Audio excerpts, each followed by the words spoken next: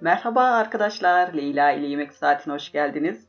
Altıncı hissim şu an kan şekerinizin düştüğünü ve canınızın bol çikolatalı bir tatlı çektiğini söylüyor bana. Yanılıyor muyum acaba?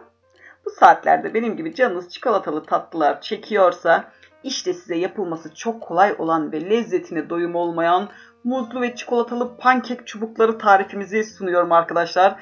Yani bir tarifi yapmak için kolay ve lezzetli olması yeterlidir bence. O yüzden tarifimizi mutlaka yapmanız lazım diyorum. Bizler çok beğendik. Emin olun sizler ve çocuklarınız çok beğenecek ve çok bayılacak. Çünkü çok kolay.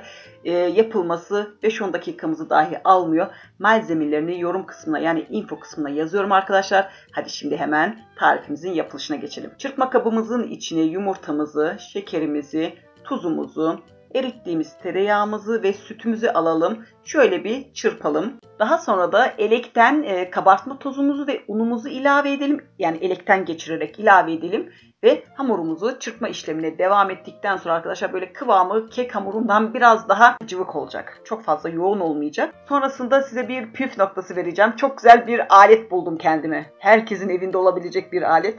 Acaba nedir nedir? Şimdi hemen bazıları yazar. Ay zaten biz onu biliyorduk. Biliyorduk zaten biz öyle yapıyorduk diye de e ben daha yeni gördüm. Ne yapayım yani? Yeni yapıyorum, yeni uyguluyorum. Kafa yeni çalışıyor.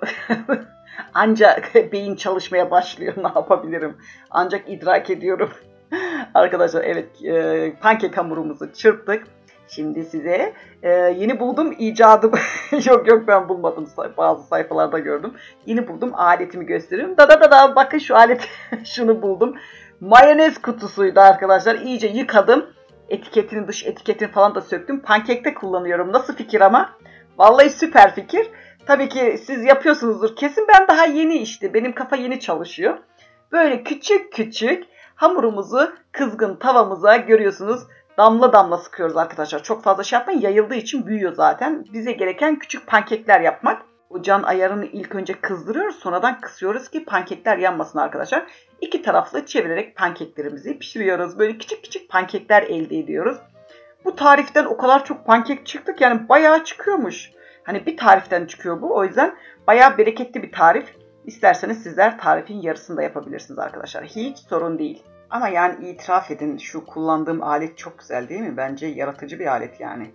Görüyorsunuz hiçbir yere dağıtmadan, akıtmadan, dökmeden bundan büyük pankekler de yapabiliriz ya. Gayet güzel. Aslında krep, krep yapılır mı? Krebi kepçeyle döküyor. Krep olmaz ya. Ama pankek olur yani. Ben artık pankeklerimi bu kutuda yapıyorum. Saklıyorum kutumu. Yıkadım güzel, kuruladım, saklıyorum. Pankeklerimi bu kutuda yapıyorum. Evet pankeklerimizi tavamızda pişirmeye devam ediyoruz arkadaşlar. Bayağı bereketli olduğu için bayağı çıktı. Bayağı bayağı bayağı çıktı. Bu kelimeler de nedense ben niye bu kadar çok kullanıyorum onu da bilmiyorum. Bu son gösterişim. Daha göstermeyeceğim. O kadar çok hoşuma gitti ki o yüzden 2-3 kere göstermek isterim size nasıl aleti nasıl kullanmamız gerektiğini falan. Aman şimdi yapamazsınız falan filan gösteriyorum size yapın diye. Ay bazıları şimdi beni kesecek. şimdi yorumda hemen eleştiriler başlar. Ay pankekleri yaptık. Görüyorsunuz kızlar bayağı çıktı. Bu kadar. Bir tariften bu kadar pankek çıkıyor. Yani hesap edin ona göre yapın. Şu kadar. Yok bundan da fazla çıkıyor. Hepsi buna sığmamıştı. Yalan konuşmak istemiyorum. Pankeklerimiz hazır. Şu bile yeter ya. Alacaksın tek tek çikolata sür ye yani.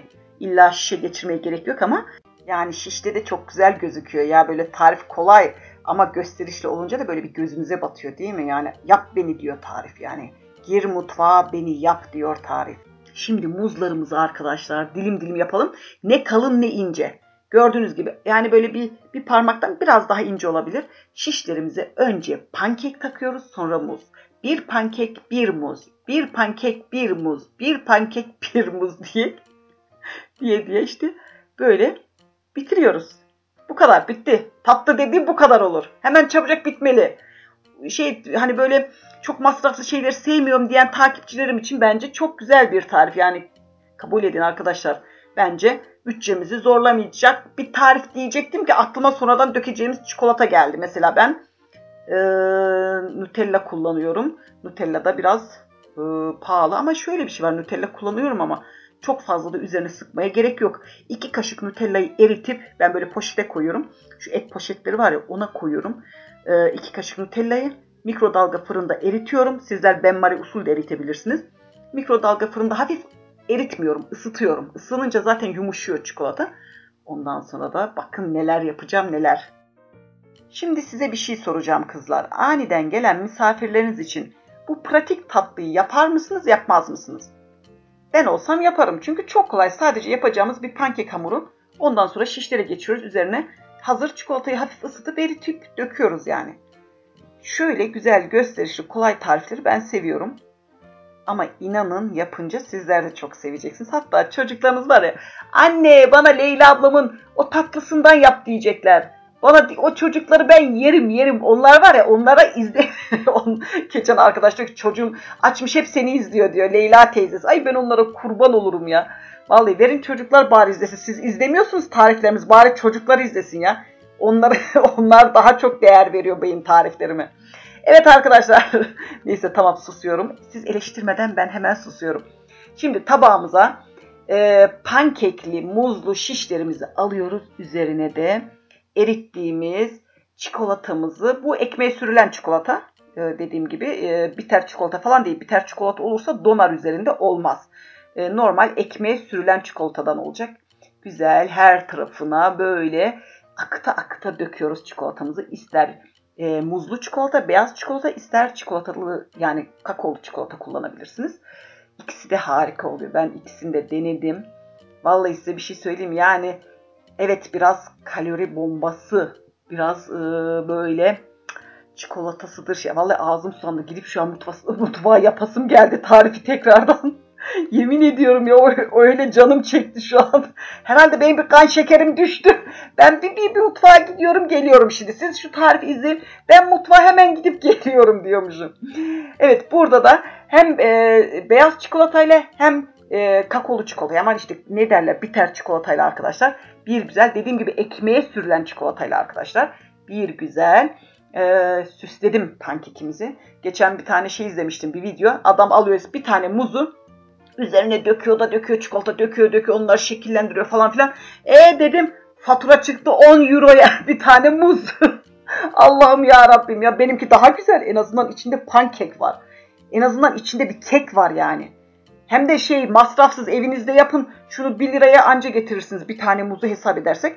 Anca şu malzemeler 1 TL olur yani. Olmadı 2 TL olsun yani. 10 euro nerede 2 TL nerede? Vallahi arkadaşlar ben çok beğendim. İnanılmaz lezzetli oldu ve çok kolay bir tarif. İnşallah tarifimizi sizler de yapınca çok beğeneceksiniz. Şimdiden tarifimizi yapan herkese afiyetler olsun diyorum. Ve bir sonraki tarifte görüşmek ümidiyle kendinize çok iyi bakın. Hoşçakalın.